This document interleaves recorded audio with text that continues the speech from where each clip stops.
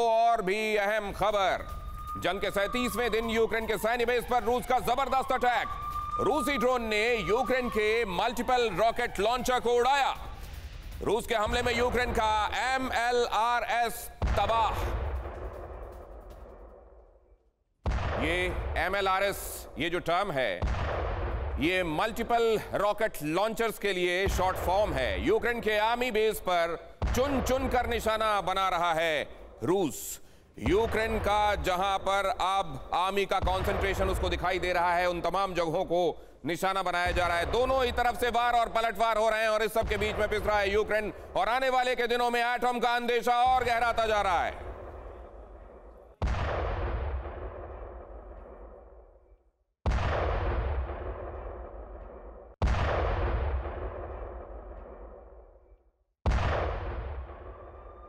और अब आपको दिखाता हूँ अगली अहम खबर, यूक्रेन से जंग के बीच रूस की बहुत बड़ी एटमी तैयारी। रूस ने एटम बम ड्रॉप करने की रिहर्सल की।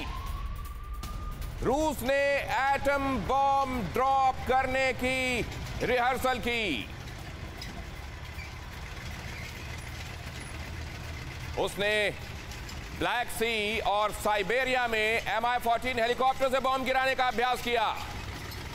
रूस ने परमाणु टैंक ऑब्जेक्ट 279 निकोटी दोबारा स्टार्ट किया। द्वितीय विश्व युद्ध में एक्टिव था रूसी ऑब्जेक्ट 279 ऑब्जेक्ट 279 को नए कलेवर के साथ उन्नीस सौ उनसठ में रूस की तरफ़ से एक बार फिर लॉन्च किया गया था और इसको देख लीजिए बहुत अच्छे से इस टैंक को। इसका ये जो आर्मर है 269 mm थिक और किसी भी तरीके के केमिकल बायोलॉजिकल रेडियो या एटम बॉम्ब के झटके झेलने में ये पूरी तरह सक्षम बताया जा रहा है। पुतिन का एटम तैयार। कैसे? पहला संकेत। पहला संकेत यह है कि ऑब्जेक्ट 279 टैंक को तैयार कर दिया है। क्रॉस कंट्री ट्रेन में भागता है ये। ये जो आपको दिखाई दे रहा है 279 ऑब्जेक्ट 279 टैंक एटमी स्ट्राइक का रिहर्सल अगर यह रिहर्सल हो रहा है तो निश्चित रूप से ये अब न्यूक्लियर वॉर की तरफ़ बातें चले जाने का स्पष्ट संदेशा है। ये राइटिंग ऑन द वॉल है ऑब्जेक्ट 279 टैंक एटमी स्ट्राइक का रिहर्सल क्या ये equation is equal to nuclear war दिखा रहे हैं क्या? ये समझना बहुत ज़रूरी है। ऑब्जेक्ट 279 टैंक जरा इसके बारे में समझ लीजिए। खासियत क्या है? परमाणु वॉर के बाद उसके जो झटके होते हैं, जैसे ही वो बॉम्ब ड्रॉप किया जाता है, वो इससे निपटने में सक्षम बताया जाता है। अधिकतम स्पीड इसकी 55 किलोमीटर प्रति घंटा की है। ये 300 किलोमीटर तक की रेंज में ऑपरेशनल रह सकता है। और जैसा मैंने आपको बताया कि ये क्रॉस कंट्री टेरेन में भागने में सक्षम है। 1959 में डेवलप करके पहली बार सामने लाया गया था दुनिया के।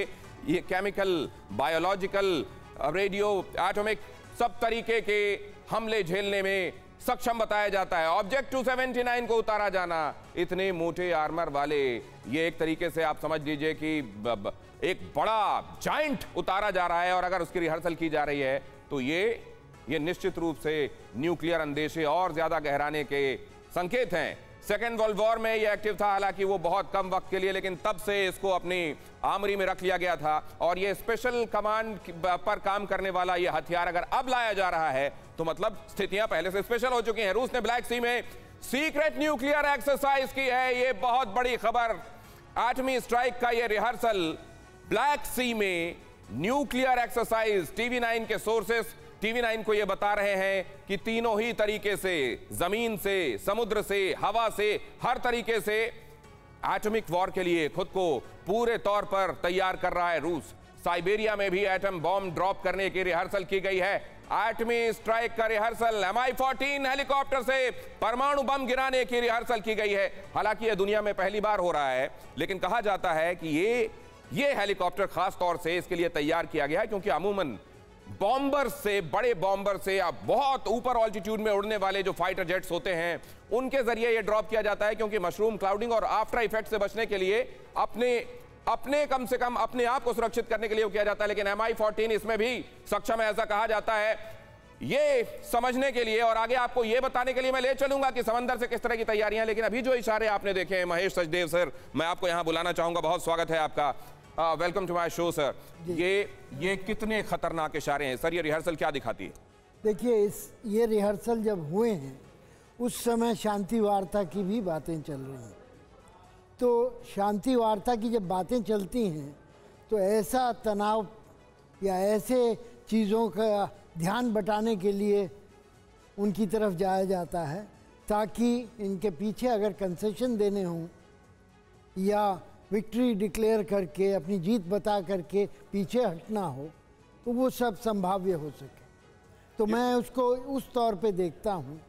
इस्तंबुल में अभी पिछले हफ़्ते बातचीत हुई है जिसमें यूक्रेन ने निष्पक्ष रहने का न्यूट्रल रहने का और नाटो न ज्वाइन करने की बात की है जो एक रूस की बड़ी मांग थी।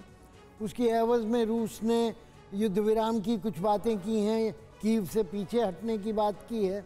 तो इस इसके लिए एक नया गुबार बनाना ज़रूरी है। ये नया गुबार बनाने की कोशिश की जा रही है क्या? या स्टेक्स हाई करने की कोशिश की जा रही है क्या? थ्रेट परसेप्शन बहुत बड़ा करने की कोशिश की जा रही है क्या? इस समय जबकि आप ये हाई एंड ग्राफिक्स देख रहे हैं और साथ में आप देख रहे हैं ब्रेकिंग न्यूज़ भी ये समझ लेना बहुत ज़रूरी है कि क्या बातचीत की टेबल पर अपना ज़ोर और बढ़ाने के लिए ऐसा किया जा रहा है क्या? परवाह देश की। सोमवार से शुक्रवार रात 10 बजे टीवी 9 भारतवर्ष पर।